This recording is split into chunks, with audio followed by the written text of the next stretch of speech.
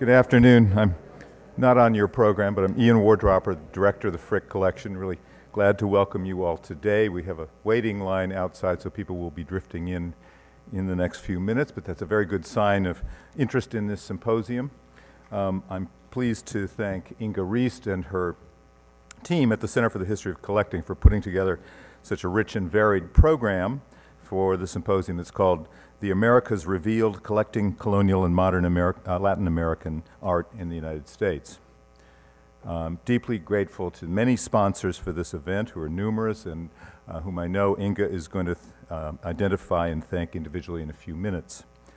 Um, I want to note on this occasion that uh, I'm aware of a really essential advisory role that the symposium's distinguished keynote speaker, Edward Sullivan, has played in developing the program and indeed as an important voice in this field uh, since I first knew him as a graduate student 40 years ago.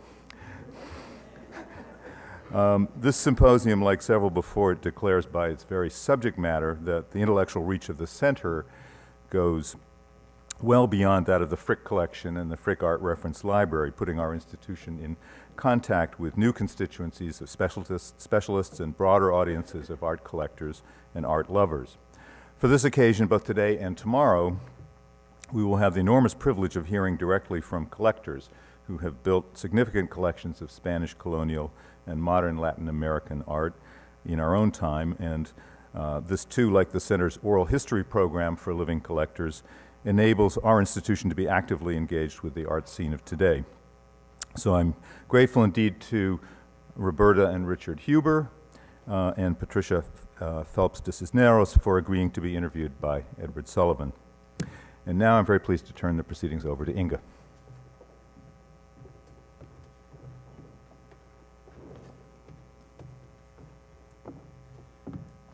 Thank you, Ian, so much for opening uh, the proceedings. Uh, I think you all know who I am. I'm Inge Reist, Director of the Center for the History of Collecting here at the Frick Collection and Frick Art Reference Library. And I'd like to add my warm welcome to all of you and thank you for uh, coming out in what might be the elements, isn't yet, and uh, on this afternoon that, that may not be so clement. Uh, so here we are raising the curtain on the 13th uh, symposium that our center has organized, The Americas Revealed Collecting Colonial and Modern Latin American Art in the United States.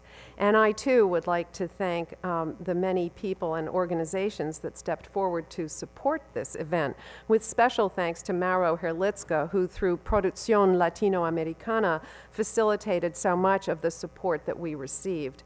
So heartfelt thanks to the Institute for Studies on Latin American Art, Isabella Hutchinson and Diego Gradozik, Tanya Capriles Brillembourg, Antonio Bechara, and Diana L. Beatty, who so kindly gave her donation in memory of our beloved trustee, Walter Eberstadt. I would also be terribly remiss if I did not express my enduring thanks to the, my colleagues at the center, its two assistant directors, Samantha Deutsch and Esme Quodbach, for whom really no detail of the planning is too small to attend to with a smile. Hosting a symposium on collecting Spanish colonial and modern Latin American art has been on our minds more or less since the day we launched the center in 2007. Our advisory committee was encouraging us to address the topic, and others too kept noting the meteoric rise in interest in these categories of art during the past several decades, in the marketplace, in the museum, and in university programming. But as Ian noted, um, this area of study lies just a little outside the Frick Zone comfort zone. Uh, so uh, as much as we wanted to engage the collectors and specialists in this field, we knew that we needed a guide to help us navigate what were for us uncharted waters. In essence, we needed a leader in the field who not only knows the subject backward and forward, having played a formative role shaping it through teaching, curating exhibitions, and publications, but also who knows the people whom we should have invited to participate. Happily, Edward Sullivan agreed to be our guide, and I can't thank him enough for all the time, thought, and wisdom he has given to us in the planning uh, of this gathering. So now, without further ado, I will introduce our distinguished speaker. Edward Sullivan is the Helen Gould Shepard Professor of the History of Art at New York University's Institute of Fine Arts and Department of Art History, where he's currently acting chair. His interests are in the arts of the Hispanophone, Lusophone, and Francophone nations of the Americas in the modern era. He is the author of over 30 books and catalogs on Latin American art, his most recent books oh, uh, include The Language of Objects in the Art of the Americas, published in 2007, Continental Shifts, The Art of Edouard Duval-Carrié, also in 2007, Nueva York, 1613 to 1945, an edited volume from 2010, um, and uh, from the San Juan and, and, from San Juan to Paris and back, Francisco Oller and Caribbean Art in the Era of Impressionism, which is to be published this summer by Yale University Press.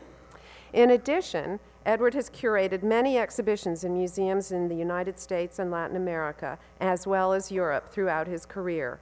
Among the most recent have been Fragile Demon Juan Soriano in Mexico, 1930 to 1950, for the Philadelphia Museum of Art, Observed Milagros de la Torre for the Americas Society and the Museo de Arte de Lima, and the forthcoming exhibition on Francisco Oller and Caribbean art, which he is co curating with Richard Aste, who I'm happy to say is in our audience, from the Brooklyn Museum, and that will take place in 2015. This afternoon, Edward will frame the issues of our symposium with his keynote address Observations on the Myths and Magic of Collecting Latin American Art in the United States. Please join me in giving Edward Sullivan a warm welcome.